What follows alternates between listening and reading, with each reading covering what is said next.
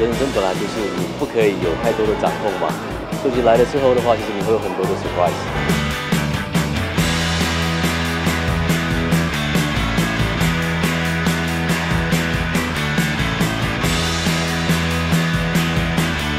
每天接触的东西其实都很固定，就希望会有点不一样的东西。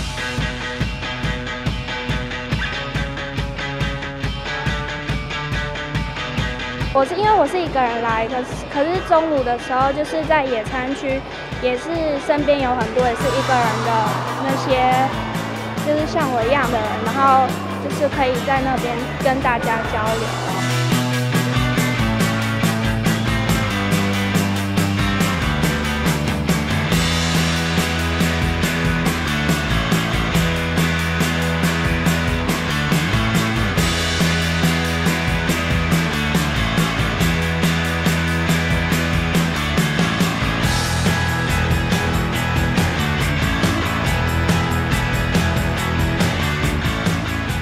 让我最印象深应该是 VR 吧，因为没有体验过。